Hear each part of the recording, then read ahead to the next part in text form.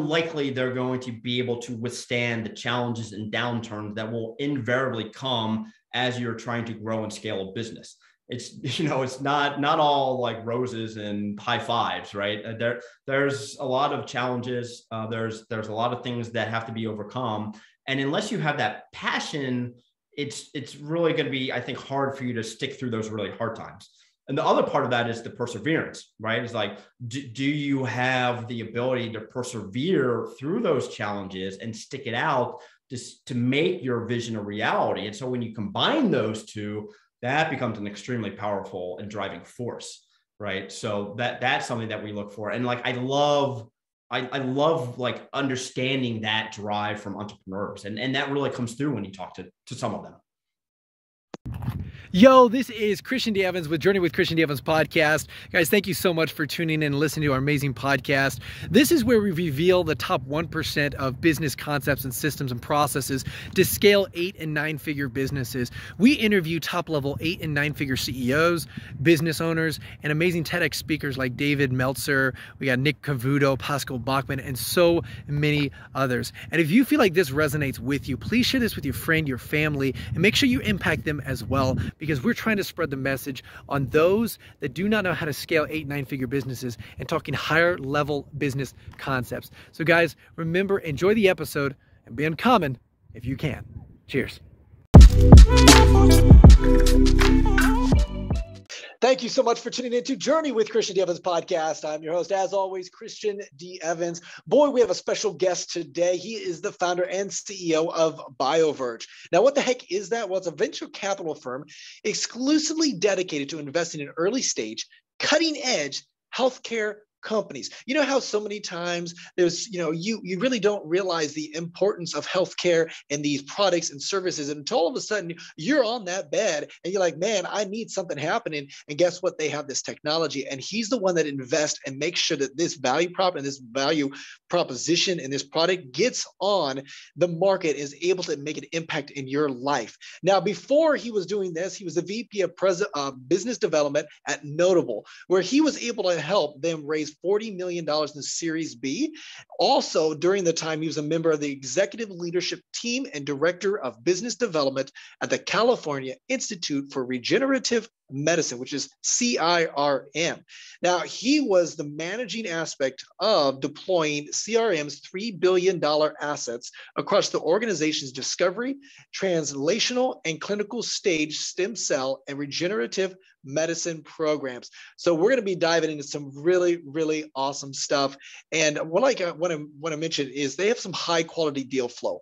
Uh, their BioVerge collaborates with the world's most forward-thinking incubators, accelerators, universities, and investors to provide you with access to the most promised early stage healthcare deal flow. Please welcome the co-founder and the CEO, my friend Neil Littman. How are you today, Neil? I'm doing great, Christian. I'm really thrilled to be here. Thanks for the invitation.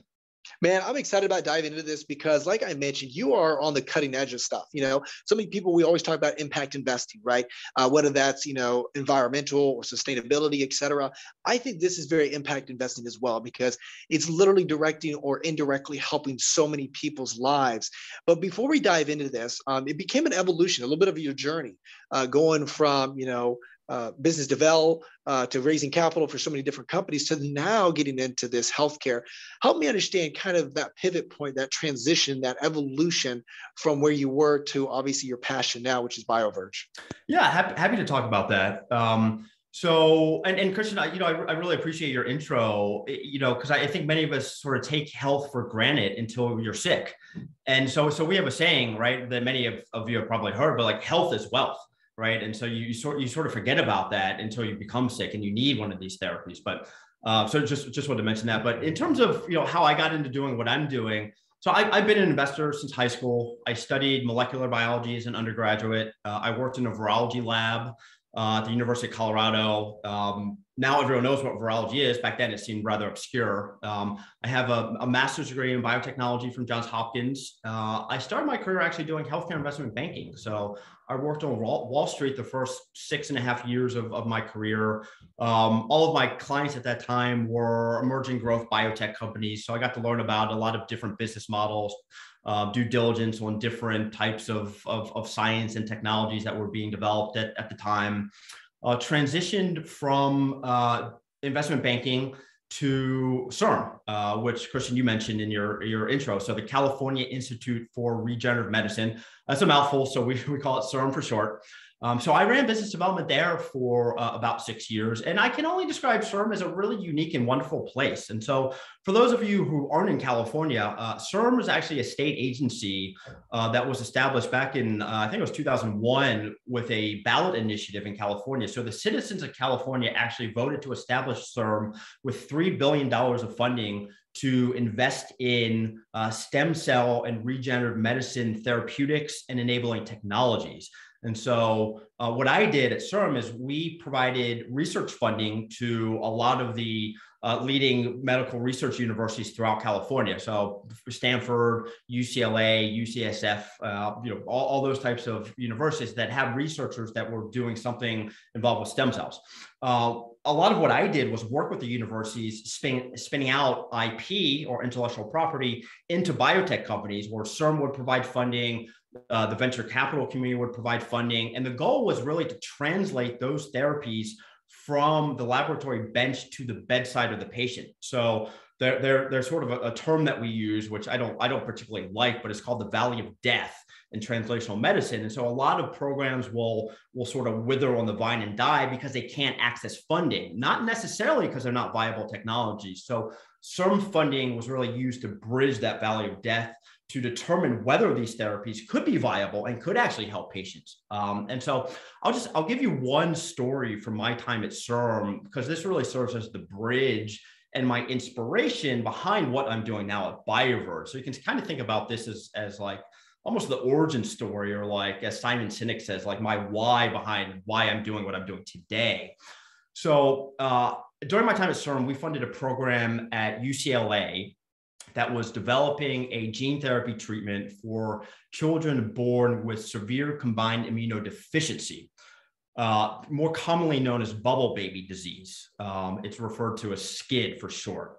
Uh, I don't know if anyone's seen Seinfeld out there, but Seinfeld did an episode, The, the Boy in the Bubble. That, that's what this is. So kids born with SCID uh, are born with a defective copy of a specific gene, so they don't have a functioning immune system. So as you can imagine, those children are in and out of the hospital with severe infections and they have a very short life expectancy. Um, and so the the the um, the work that we funded at UCLA was coming up with a, a gene therapy, which is a one-time treatment to try to cure these children. So I had the opportunity to meet a little girl by the name of Evie uh, during my time at CIRM who was treated with this gene therapy she would come to our board meetings with her parents and she would talk about her experience being treated in a CIRM funded clinical trial. I met her when she was about six um, and she was cured of her disease, which, by the way, was previously incurable. I'm like, oh my gosh, like this is an incredible story. Like th- this is literally like science fiction, but it's science fact and it's happening today why why don't more people know that this type of technology exists in the world today? Why can't more people invest in this kind of technology? Um, and just sort of just to just to put a sort of a, a bow around the story, so the, the IP was spun out of UCLA into a biotech company that went public at a 1.2 billion dollar valuation. So early investors in this technology did did very well for themselves. So it's this whole idea. It sort of goes back to this idea that you know Ben Franklin first posited back in like the 18th century you know we can all do well by doing good right? So we're doing good in the world we're, we're, it's impact investing right? We're impacting the lives of not just not just Evie and this little girl but her family. Maybe if she grows up and has children one day right? And like her grandkids like so it like it has this ripple effect. And by the way like people financially did well by backing this sort of technology. So it's like oh my god this is this like it was like a light bulb went out in my head. It's like can i bring the institutional model of CIRM funding to more of the retail sector and enable more investors to invest in this type of incredible technology um, because it is impact investing, but also to generate financial returns. And so that that's what we're doing at, at BioVerge, and that's that's really our focus in terms of democratizing access and investing in those types of like really cool technologies, which sound like science fiction, but they're not. They're actually many of them are here today. Well, I appreciate you kind of giving me the, the, the foundation a little bit of that evolution because one of the things, just like you were mentioning a little bit in regards to the product or even the research, I, I always like to relate to almost like the FDA process for a new drug, right? It, they've put so much time and energy, and it takes years upon years, and that FDA drug could be very, very beneficial for you know the the environment or whatever. However though because of the longevity it takes a lot of time and resources etc that's the same thing with some of these you know developing you know companies. They have these products they have these things but it may take a while for it to actually develop get some traction etc and that's why i think it's so important to have a, you know your vc come alongside them and help them. So let's unpack a little bit about the deal flow. Okay so you said the retail side of things. So it's not too much research focus but it is focused more on the retail aspect. Help me understand a little bit about your deal flow, maybe some deals that are currently active. Um, and I know you've actually partnered with some really, really cool, um, you know, uh, Rosenman Institute, NLC, Scale Health, et cetera. So some very, very well, well-known organizations. So help me understand a little bit about the deal flow and what that looks like. Yeah. So let me let me sort of start at the 30,000 foot view. So so our goal again is, is to connect individual investors. In, in our case, we're, we're really focused on accredited investors to the startups and entrepreneurs who are really at the leading edge of innovation and are working to transform healthcare across a variety of areas. So, you know, Chris, in terms of our deal flow, we are sourcing and investing in companies in various sub verticals within healthcare. So, things like regenerative medicine. So, think cell and gene therapies, for example. We also invest in digital health and digital therapeutic opportunities. Um, things like care delivery, things like companies that are what I would call a biotechnology platform, or what has become more commonly known as a tech bio company. So those are companies that are using some sort of stack of technology like artificial intelligence or machine learning to try to improve the drug discovery or drug development process. So those are just a few of the different examples that we have. And, and actually, I should I should back up for one one moment because digital therapeutics might not be a term that a lot of your listeners are familiar with. So if you think about a traditional therapeutic, it, it's some sort of chemical entity, right? A, a pill or uh, an antibody or, or something that you you take and it it has some sort of chemical modification to try to treat disease, right? That's that's sort of traditional medicine. A digital therapeutic is a software application that tries to modify and treat diseases based on behavioral changes and behavioral modifications. So think about changes to lifestyle, diet, exercise, things like that in order to combat disease um, and oftentimes chronic diseases. So things like obesity or diabetes or things of that nature. So there, there's a whole there's a whole bunch of companies that are working on digital therapeutics, which can be used by themselves or can actually be used in conjunction with a traditional therapeutic. So if you, if you sort of think about pairing those two, you might be able to use a digital therapeutic to modify behavior so you can take a lower dose of your medicine, right? So that that that's interesting. So we're seeing a lot of that. Um, Chris, in, in terms of our deal flow, um, I can't actually talk about any of our current investment opportunities, but let me talk about some of some of our our existing portfolio because um, I think that will give your listeners a good flavor of the types of things that we invest in. So I'll tell you about a company by the name of Volumetric because this is this is a really cool story. So we first invested in Volumetric in July of 2020. Uh, the founder and CEO was a professor of biomedical engineering at Rice University uh, we got connected through one of our advisors of, of, at, at BioVerge. Uh, Volumetric is developing technology for 3D bioprinting human tissue and organs, right? I mean, sounds like science fiction, right? But guess what? I mean, we're, we're making progress towards actually being able to do that. So they have already produced the most complex 3D printed object ever, a human lung scaffold, which has already demonstrated gas exchange in animal models. So that like that's even that is a huge step forward. So the technology made the cover of Science magazine back in 2019 when it was first published. Um, you know, sort of fast forward, and the, the company Volumetric was acquired um, last year by 3D Systems, which is a publicly traded company in the 3D printing space. Uh, there, there's a new partnership with another company called United Therapeutics, and they are already working to cellular, cellularize the, the scaffolds with patients' stem cells to create transplantable human lungs. Uh, and importantly, those lungs should not actually require immunosuppression like a lot of organ transplants do, because the stem cells that they're using to, to seed the lung scaffolds actually come from the patient. So that's not here today, right? Uh, so that that is that's still pretty far away from actually being available, but that is in that's in development, and that that that's pretty cool. Um, so that was that was that was a company that we were really excited about. Um, another company that we invested in, it was actually our our, our first investment that we ever made at at um, at BioVerge. Uh, notable labs, which you mentioned, I actually worked there for for about two years. Um, so this is this is a company that is um, working with um, patients with hematological malignancies or or blood cancer. And so what they are able to do is they have developed a, a high throughput screening platform where they can take a, a blood sample from a patient they run it through their platform, which has some like AI and stuff sort of in, in the background. And they're able to test different drugs or combinations of drugs, sometimes hundreds of different drugs or combinations of drugs against an individual patient sample to determine how that patient responds to a particular drug or combination of drugs. So if you think about this is this is this is precision medicine, right? And and like the company is really trying to predict the right drug for the right patient at the right time.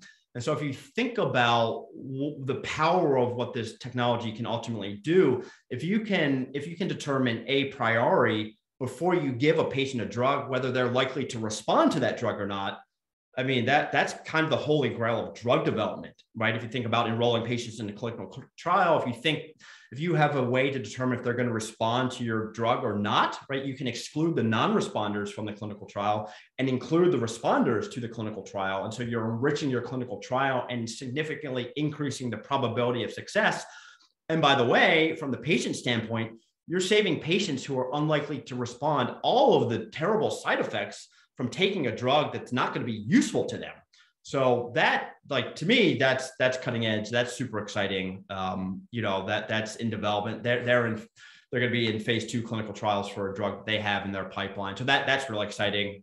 Um, Christian, I mean, I, I can I can talk for another hour about this stuff, but let me let me stop there. I'm happy to talk about some other companies or let, let me know the direction you no, want to go here. Perfect, man. And I love the passion, I love the excitement. I want to stop here for exa- for one second here and unpack this a little bit. So let's take you know notable uh, for example. And I'm curious when you're looking at a deal, because I would imagine you've seen a lot of deal flow on your desk quite a bit. There's a lot of opportunities out there. How do you, um, because you and I understand that a lot of this stuff it's slightly different than any other industry because sometimes it is very highly regulated for whatever that vehicle may be. Okay. So, what does that criteria look like? And then, as well as how can you help these individuals, not just through capital and, and funneling capital into, you know, helping them develop uh, the infrastructure, but also maybe coming alongside and a, you know, navigating the path for them to make sure that they can get this proof of concept uh, on the marketplace relatively quickly and get through all those uh, those hurdles that uh, we know it's a very regulated situation. Yeah, so there's there's a lot to unpack there, Christian. So let, let's let's let's start with uh, sort of the how, how, we how we think about making investments in general through uh, through through our platform. Um, so so we invest in in the venture capital asset class, and we're we're democratizing access. So we want you know angel investors and other individuals to invest alongside of us. You know we're also investing off of our balance sheet, right? So we have skin in the game. And so as, as I sort of think about evaluating companies and technologies, there's clearly the, the science really drives everything, right? And so number one, that's why we exclusively focus on healthcare. Healthcare is its own animal. It, it like it's a highly regulated environment. Um, there's just there's so many nuances that go into developing a product. I, I really feel like healthcare deserves and needs its own dedicated ecosystem and you can't it's, it's really hard just to dabble in healthcare for example. Like you really have to specialize because there's just so many nuances and so many regulations and so many barriers. Um, and for us like we we have developed what we call the bioverge network which helps us source and diligence opportunities. And so that those are those are subject matter experts who maybe have expertise in a certain disease area. So think about a, a clinician that has spent his career in the you know cardiovascular space or neurodegenerative space or whatever. So we can tap into those people to help us review our deal flow and review the science that these companies are pursuing. You know, we have regulatory folks that we can tap into, right? So there, there's manufacturing is, is a big component of, of a bottleneck for particularly in the regenerative medicine space. So understanding how these technologies are manufactured is, is really important. So that like that, that that's sort of like table stakes for getting into the game of like healthcare and, and biotech. Uh, uh, just I think for your uh, for your audience, I think what would also be helpful is I'll just I'll, I'll, I'll sort of give give you our sense of how we think about investing in this space and like how it fits into like an overall portfolio. So when I got into investing, right, I was an angel investor myself. Um, and, and, and really, I wanted to diversify my portfolio away from the public markets to an uncorrelated asset class and that being private market investment opportunities um, and, and, venture capital style investments uh, specifically. Uh, and so it was really important for me to gain exposure to what we call positive black swan events and build into my portfolio this idea of positive optionality. So what like what well what does that mean? So that means there's asymmetric risk versus reward. So it means there's a positive skew toward the reward side of the equation. So anytime we think about making an investment, we want to be able to ensure that we could potentially make a lot more money than we could lose on that investment. Right. So, the other thing to think about when you think about investing in the private markets and venture capital or angel investing um, is this idea of frequency versus magnitude. Right. So, there, there's, you know, th- there's a psychological battle against this idea of loss aversion. Right. So, you know, folks, Nobel Prize winning behavioral economists like Daniel Kahneman, Amos Tversky, if, if, anyone's read the book Thinking Fast and Slow, they talk a lot about this idea of loss aversion, but losses loom two to two and a half times larger than gains, right? So, for like, so, so what, what does that mean? So, let's say you're like walking down the street and you find a $20 bill, like that's really exciting. Um, but you're going to be much more upset if you lose a $20 bill on the street, right? So that's that's loss aversion, right? You you you value that loss a lot more than you value that like gain. And so in venture investing and angel capital investing, you have to fight that natural tendency that we have because more this is frequency versus magnitude, right? More of your investments may end up losing, but that's okay as long as the minority end up making you more money than what you're losing in your losers, if that makes sense. Right. So it's like the, the, the, common way to think about this is the Babe Ruth effect right? So Babe Ruth struck out way more times than most players, but he also holds the home run. Uh, he, he held the home run record like for like 40 years, right? So as you think about like investing in this asset class, you have to be comfortable with that idea of frequency versus magnitude. And like, you know, the best money managers and like the best poker players like understand this, this sort of concept. Like as long as my winners make up for my losers, then I'm ahead of the game, right? That's a positive expected value. So I'm going to be ahead of the game. And so, like for us, we want to make sure we're getting into the right investments to give ourselves the opportunity to generate these outsized, you know, returns. And so, like it's it really comes down to the process. Um, so we want to make sure we have a relentless focus on process. We want to make sure we're doing deep diligence in all these opportunities. We want to make sure we're talking to subject matter, subject matter experts, diligencing these opportunities properly, and giving ourselves a chance to generate outsized financial returns not all of our companies are going to win. Like we know that, but we don't know a priori which is going to have a billion dollar outcome and which isn't. Right? Like I wish I had a crystal ball, but I don't. And so you have to construct a portfolio to give yourself a statistical probability of success. So uh, why, why, don't I stop there? I, I, probably answered your your specific question and then probably a lot more. So. No, this is perfect. Yeah, and it makes sense because obviously that is the the VC thesis. Really is is finding those kind of uh, attributes. I was also just curious how BioVerge is able to come alongside because you guys have those subject matter experts. You have those connections. You don't only just you know uh, like I mentioned funnel you know capital in that in that um, uh, in that investment or your portfolio. You're also investing a lot of your time, your resources, and your knowledge knowledge in that in that experience. Now, what uh, just on a personal note, Neil, you probably have seen some really, really awesome, you know, cutting edge technology, cutting edge innovation, definitely in this in this industry, and it's become even more prevalent, uh, definitely as you know technology has evolved. So I'm just curious, what what what gets you up now uh, up at night i mean what what what just moves you what what are you most excited about what are some things that like you've noticed and like man i'm, I'm so excited about this this industry is uh, particularly yeah i mean i think there's a lot of things. I mean for for me like my my passion is is really talking to the brilliant entrepreneurs who are building these companies right? And it, it really you know our tagline at bioverge is bringing science fiction to life.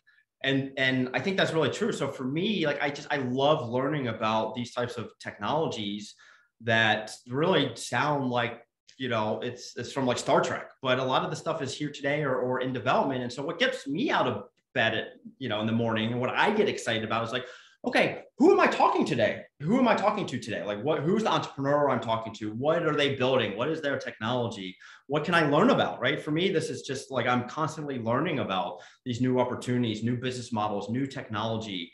Um, so I so I, I love that kind of stuff. Um, that that's incredibly exciting. I'll, I'll, I'll, tell you about one other company in our portfolio, just by way of uh, as an example, right? So Aspen Neuroscience, they're working to develop what's called an autologous cell therapy designed to replace um, some of the neurons that are lost in patients with Parkinson's disease.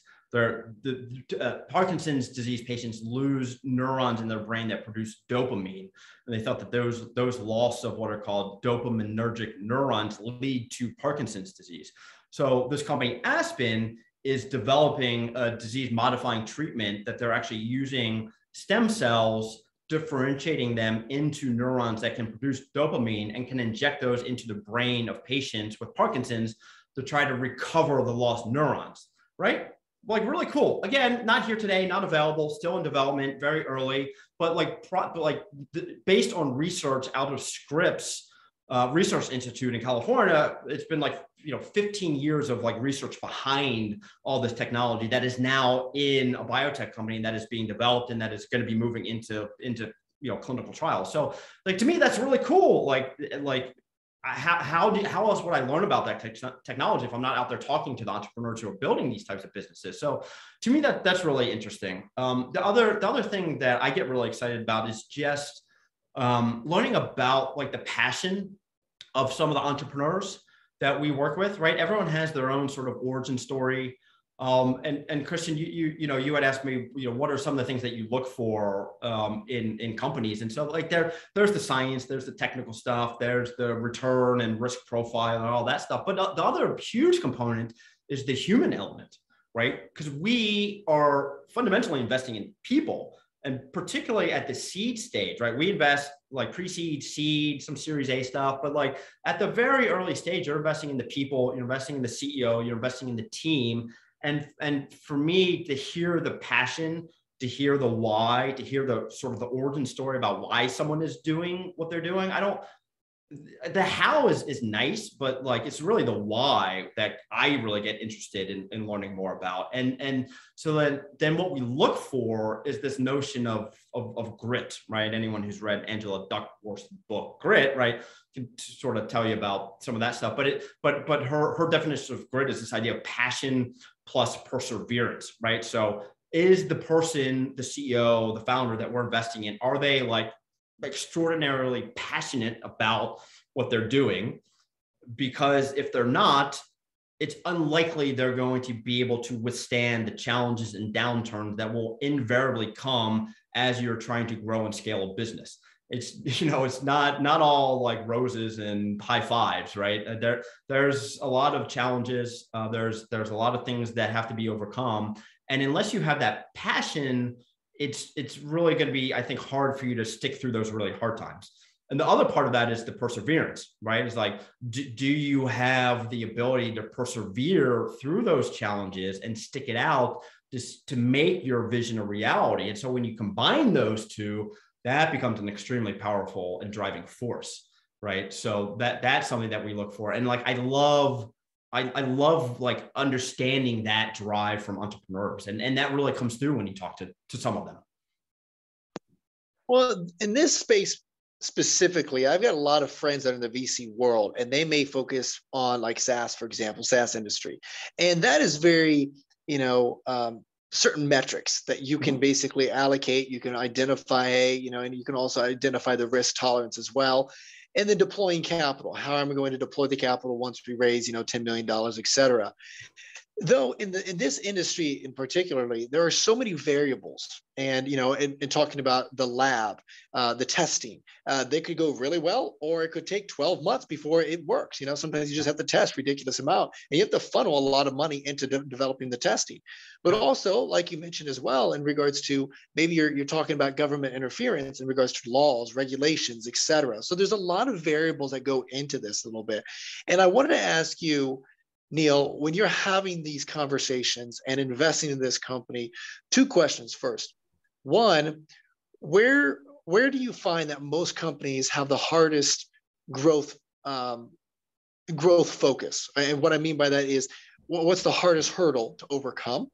Uh, I know it's very contextual, probably depending upon obviously each deal, et cetera, but maybe there's an overarching kind of, um, you know, denominator in that regard? And then secondly, as well, where do you like to see when you do give the investment, when you do raise that X amount of capital, where do you like to see that deployed um, in, in more of the, the lab, the testing, the value prop? Because obviously in the SaaS world, it's, hey, marketing and, you know, obviously R&D, et cetera, right? There's certain things that you want to see deployed effectively to get the most return. So what are you looking at when you're, when you're in this industry?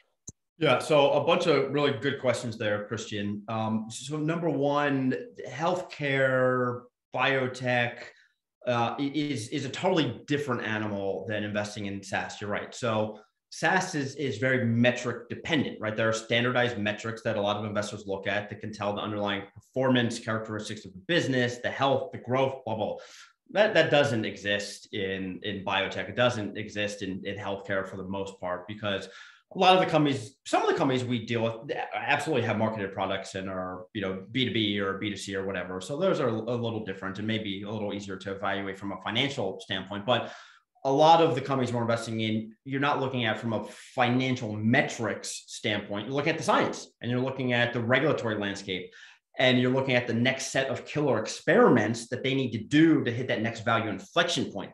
So that's where the diligence comes into play. That's where our, our, our network comes into play to be able to accurately accept, uh, to, to assess that next killer experiment. What is the probability of that being successful based on the data that they have today? If they do achieve, you know, success in that next experiment, what does that mean in terms of the inflection point? Will they then go up? Will they will that then catalyze them to raise a series A round at a higher valuation, you know, et cetera, et cetera. So that's where we spend a lot of the time. So very different than like the SaaS world.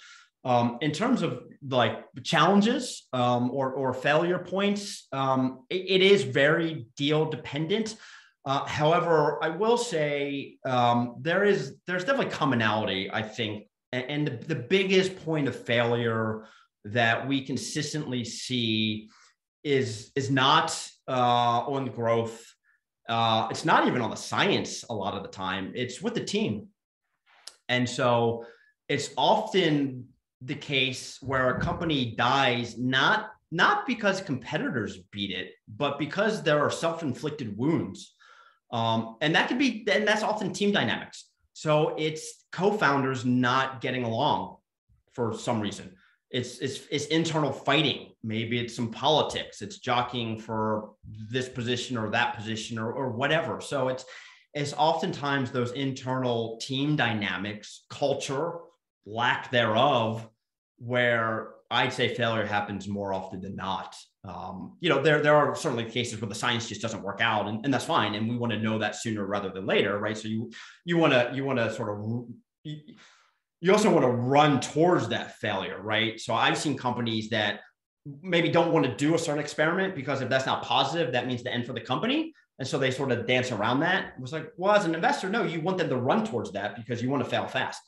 Um, but it, but it, but you know, going back, it's, it's really the team dynamics. And so a lot of the challenges that I see is how do you how do you recruit a world class team, right? How do you, and it's it's not it's not just about getting you know people on the bus. It's about getting the right people on the bus in the right seat right? And so i think that's really that's really powerful. You, you can have the right people on your team but if they're not doing the right thing that they're best at doing it's not a recipe for success. And i so i think i think it's really the people challenge is the hardest thing um, honestly. Um, and so how so what you know one of the things that we look for is like how how does how does the founder communicate their vision right? Because if you think about if you think about the founder like or the ceo or, or, or management team you know whomever right? They're not they're not only communicating their vision and their story to investors like like us they have to communicate their story to potential employees to recruit the top talent right? And so how are they going to be successful in doing that? And so that like that's a big factor. And so you know oftentimes we it's, it's, it's a very rare case where there's a founder and ceo that is skilled in the technical aspects of the business and the science that is also a great salesman and can go out and really sell the vision right? Those those those are very different skill sets and they don't often coexist in the same person. When they do that's a very special company i think and a very special entrepreneur right? And so that's that's often the type of person we're looking for. However just because you can't do that doesn't mean your company's not going to be successful and doesn't mean you're not going to be successful. So what you need to do is you need to complement your skill set with someone who is really good at that that other thing. Right? So oftentimes if there's a if there's a really technical founder that maybe isn't as good at communicating the vision or isn't as good as the business, like they need to have a strong business person there. They need to have someone who can complement their skill set right? If it's if it's a if it's more of like the biz BD or business person who's the CEO, for example, they had better have a really strong C, uh, chief scientific officer who who can really nail the science, right? And so those those those things don't necessarily have to exist in the same person, but they better exist across the team right? And so those those are things that we look for. So I don't know, another now long-winded that, answer to your question. No, no, this is brilliant because I mean, just such such massive amount of of detail, and I really appreciate sharing that because that was something that I was not expecting. I thought it was going to be like you know maybe a failed test or whatever, and then as another you know four or five million dollars we have to you know funnel back into the business and et cetera, et cetera, right? Uh, but it's more of like you mentioned the team, and I thought that was very interesting. So I appreciate that um, that that awareness. And like you guys are aware that okay if we know that this is you know very key for the success of this company then you guys do whatever is possible in your in your capability your network and your resources to come along and make sure like you mentioned getting the right people on the right bus and the right positions so that we are going to the zoo and we're rock and rolling. So that's good. Uh, this is this is a really good conversation um, and I want to ask a little bit on the exit strategy on the back end. So naturally, you know, like you mentioned, you guys have some sort of data analysis where, hey, you know, out of X amount of portfolio companies, out of X amount of you know companies that we're investing into, we know that we're looking for a few that are going to obviously, um, you know, win bigger than our losses, right? And with that, there has to be some sort of exit strategy. Some are IPO, some are, uh, you know, acquisition. I'd love to get your uh, your um, kind of what you gravitate toward or what you prefer compared to, um, you know, other exit strategies. Yeah, uh, good, good question. So we currently have 34. Well, in total, we have 34 companies in the BioVerge portfolio. We've had four exits out of those 34 companies. So 12% of our companies have exited at this point. And our speed to exit, meaning the time from our first investment to a company exiting, is only 2.7 years, which is extremely fast in the private markets. Um, all four exits have been via acquisitions. So all, all M&A exits where there's a larger acquirer that has stepped in to buy the company and technology that our portfolio company was developing. So that was the case in, in Volumetric. They were acquired by 3D Systems. Um, I, I, don't need to get, get into the others, but it's, so it's the same story. Um, I think we have out of the 34 companies in our portfolio, I'd say we have at least half a dozen that an IPO would be a viable exit path for that company. And so we, we sort of know that going into the investment. We sort of know is this company going to potentially have the ability to exit via IPO? And we know that from a, a variety of different ways. Um, I mean, number one, it's you know, what, sort of like what vertical are they in? What is what is what is their growth prospects look like? How fast are they growing? How big is their market? Who are their competitors? What do the comps look like right? Are there similar companies that have gone public before them? Are there publicly traded companies out there that you can benchmark them to right? So there's a lot of those things. Um, the other big component, believe it or not, is who the investor base is in these companies.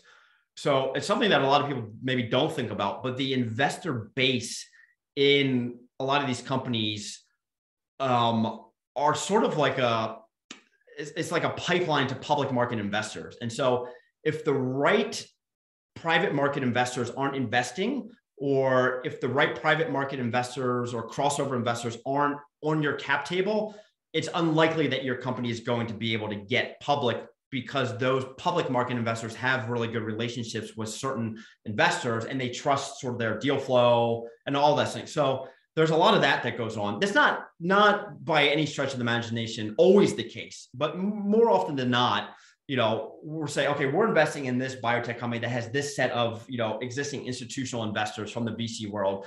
You know, that those types of investors have a ton of companies that have gone public. So this is this company has the right profile. It's a biotech company. They're going after a large market. They have a therapeutic. They have a good investor base. Like that, that company could probably get public at some point if the data is good. We have other companies that are uh, don't have that same investor base that are maybe going after a different market. Maybe maybe it's never going to be a five billion or two billion dollar outcome. Maybe the exit potential is like hundred million dollars or five hundred million dollars or whatever. But you know, if you get in at a low valuation, uh, you know, you can still easily generate a 10x plus return. Um, but we sort of know going in that is that company's probably going to get acquired, and then we we sort of go through the landscape and we say, okay, well, here's a list of the likely acquirers for this this company. Here are here are the comps. You know, here are other acquisitions in the space. Here are the here are the buyers that have been acquisitive and have bought other companies. Um, but oftentimes we're wrong. I mean, oftentimes a company comes out of left field and buys a company that that we're investing in, and that, that's happened a few times now. We're like, oh, well, that that buyer was never on our radar. Um, but the thesis is still the same. It's like, okay, if this technology works, if they can scale to a certain point, if they can generate enough revenue, if they hit some milestone, like this will be an attractive acquisition target. So we, we do sort of think about them in, in different ways. Yeah, and I figured, and that's why it's. I appreciate you kind of helping me understand how you, as Neil, uh, CEO uh, and founder of BioVerge, thinks about the exit strategy for each you know deal flow because it is very contextual and it's just a matter of what the exit strategy looks like you mentioned something here and and this might be a basic question but um, i want to ask because i'm very familiar with the saas world and how they calculate valuation um, with this industry um, how do they calculate the the valuation? What all goes into it? Uh, because you're talking a lot of you know like i mentioned not only you talk about you know ip in the back end but you know you're talking about a lot of different uh, variables in that regard. So what does that look like? Yeah Christian good good question. That's like the billion dollar question. I mean it's like you know could have sort of stick your finger in there and, and sort of triage it. But yeah you're, you're right. So that there aren't there aren't like more oftentimes than not, and this isn't across our portfolio. Again, we have revenue generating companies, um, but you know, for for biotechs or non-revenue generating companies, like you, you can't apply like a revenue multiple, right, to like value companies. So, I mean, the, the the the the there's lots of ways to do it. I mean, one one of the ways that is traditionally done is a risk-adjusted net present value calculation, right? So you're doing a discounted cash flow on the company's future products and their market penetration on those products, right? So they have a, a, a, drug that affects, you know, X number of patients in the US and in Europe and in the rest of the world. It's going to be priced at this point and it's going to be prescribed to X number of patients. That translation to, you know, X hundreds of millions or billions of dollars in revenue on an annual basis, you know, uh, due to an NPV analysis, you know, back to uh, today's dollar value, right? So t- time value of money, and then you probability adjust that based on the probability of that product successfully completing a phase one, phase two, phase three clinical trial, right? Kind of like like that's heavy finance, right? like so, um, so that like that that's really like one way and probably the best way to do that and then you do that for like each product in the in the company's like portfolio okay so that, that like that's one way to come up with valuation the other way to come up with valuation is a comparable company analysis so you say okay this company looks like these other companies that are public companies, and all these companies are valued at whatever in a range of X, Y, Z, blah, blah, blah.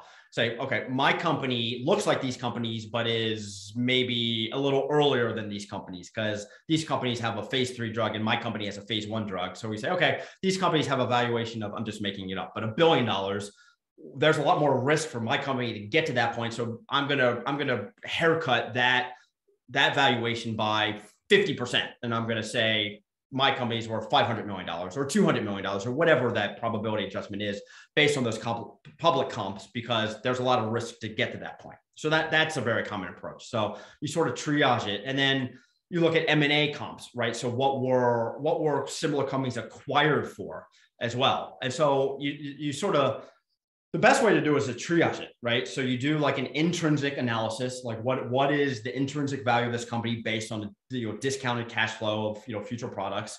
Um, what are what are public comps? What are M and A comps? And you sort of come up with like a, a valuation range. Like that's sort of like the the way to do it. It, it to be perfectly honest, Christian, like it is it is way more art than science it is like I mean some of the stuff maybe sounded like kind of heavy finance, but it's it's it's not right compared to like investing in you know uh, you know an industrial business or whatever that's throwing off a bunch of free cash flow. Like that stuff's much more standardized and measurable. It's it's a it's it's it is definitely more art like in in the healthcare world than than science. Well, I'm glad I asked that. I'm glad you were able to unpack that a little bit because you're exactly right. In the manufacturing and SaaS, there are certain kind of measurables, there are kind of you know uh, standards uh, that you can kind of run with a little bit. But in regards to this, I, that's what I was wondering because you're, you're dealing with a lot of variables and what does that look like and what is that value for each kind of phase, like you were talking about. So uh, this kind of gives me a little bit of baseline. But like you mentioned, that's why you guys are the experts at doing it. So instead of going out there and investing in yourself, so this is awesome. Neil, I really appreciate your time on here, man. Just unpack it, man. I uh, I just loved our conversation. I love what you do in the industry. I'm so glad that you're on the forefront, going from your experience to now be on the forefront investing in these cutting edge, uh, cutting edge, innovative, uh, you know, businesses, and really helping them come alongside, not only feed capital into them, but also the resources and those uh, those experts to really help them take it to the next level, and um, uh, you know, make sure that they overcome each hurdle in that growth stage. Uh, and then just what you're doing as well, the exit strategy on the back end. Neil, when some of my audience they have questions, they want to know more, they want to be a part of what you've got going on. How do they reach out to you, bud?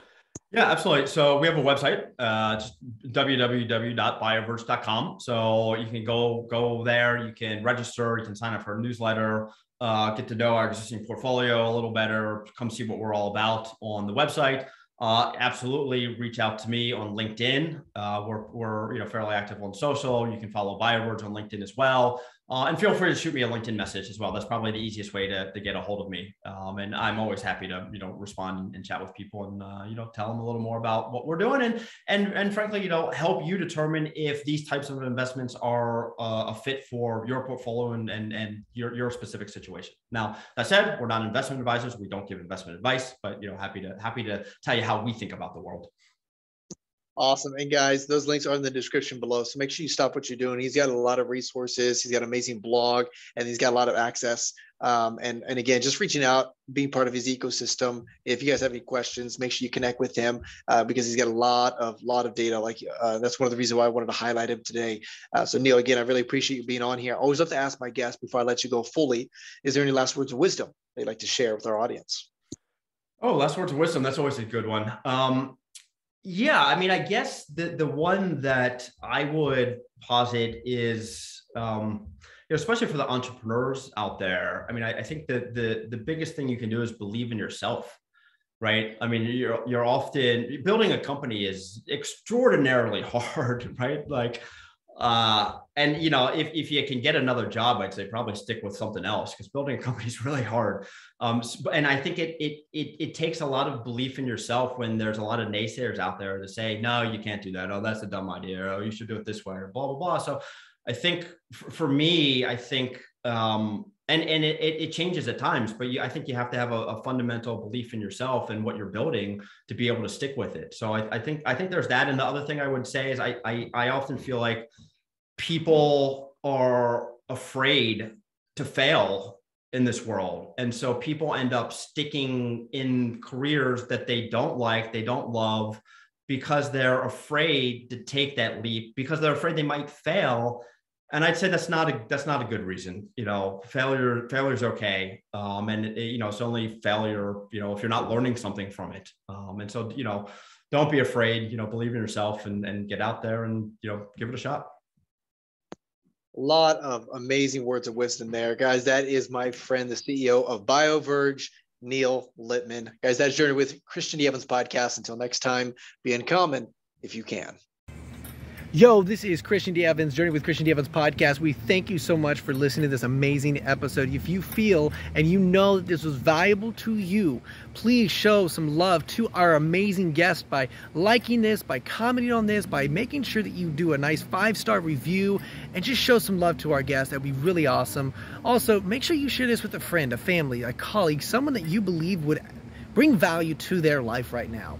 Uh, and guys, we just want to say thank you again for just being part of our community. If you want to have more resources, don't be afraid. Go to christiandevans.com. You can actually schedule a phone call with me, or you can send me an email at christian.evans at beuncommonifyoucan.com. That's christian.evans at beuncommonifyoucan.com. Always love to hear some feedback and let me know what is the number one or two things that you are struggling in your business and your life, and we'll make sure we have those conversations. Guys, that is Journey with Christian D. Evans podcast. And until next time, remember be uncommon if you can. Cheers.